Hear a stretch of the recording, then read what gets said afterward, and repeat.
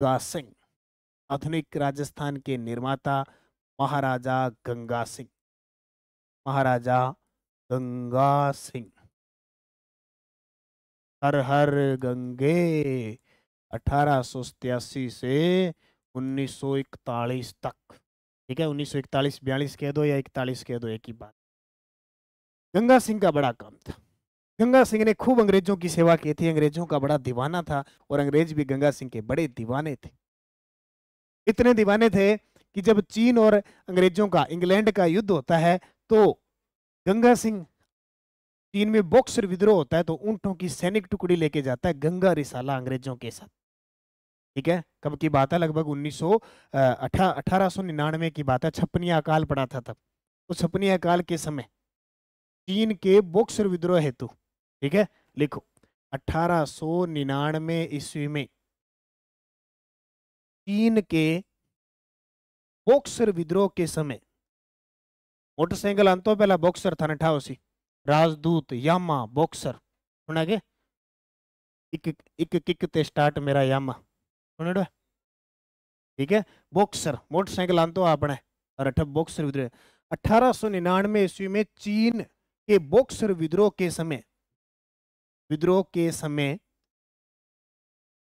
गंगा रिसाला नामक गंगा रिसाला नामक ऊँट की टुकड़ी ऊंटों का दस्ता दस्ता लेकर अंग्रेज़ों का साथ दिया।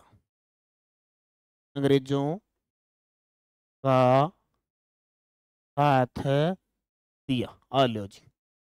यहाँ करो देख लो अठारह सौ निन्यानवे में चीन के बॉक्सर विद्रोह के समय गंगा, अब देख लो थे अंग्रेज़ों की और गंगा सिंह की कितनी बनती थी, कितना लाड प्यार था इनका। अब गंगा सिंह ने ये काम किया तो ज़ाहिर सी बात है कि अंग्रेज़ भी गंगा सिंह को कुछ न कुछ देते थे पहले क्या देते थे? पहले उपाधि देते थे, ठीक है? तो गंगा सिंह को इन्होंने उपाधि दे दी knight commander of Indian empire knight commander of Indian empire तो लिख दो भाई, उपाधि तो लिखनी है। अंग्रेज़ों ने गंगा सिंह को knight commander of empire, knight commander of empire की उपाधि दी। चक्को भी। उसी चक्को तो असी चक दें। टिट फॉर टेट आपको दिया। हमने दिया।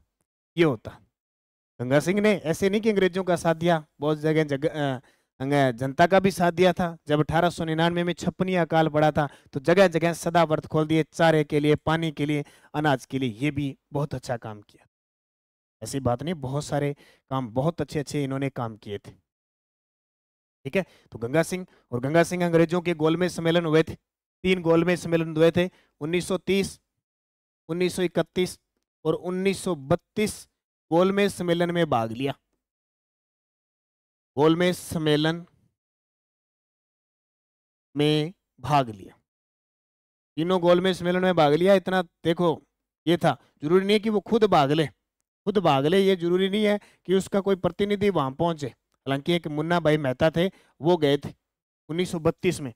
जब 1932 में हुए थे, वो खुद नहीं गए थे, मुन्ना भाई मेहता गए। मुन्ना भाई मेहता।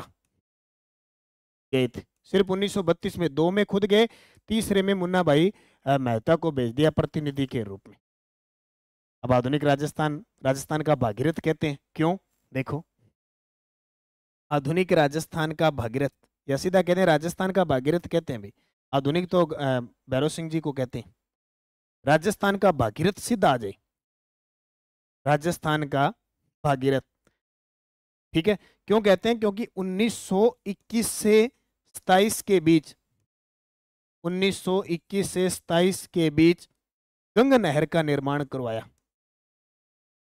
गंगा नहर का निर्माण। ये विश्व की पहली पक्की नहर थी।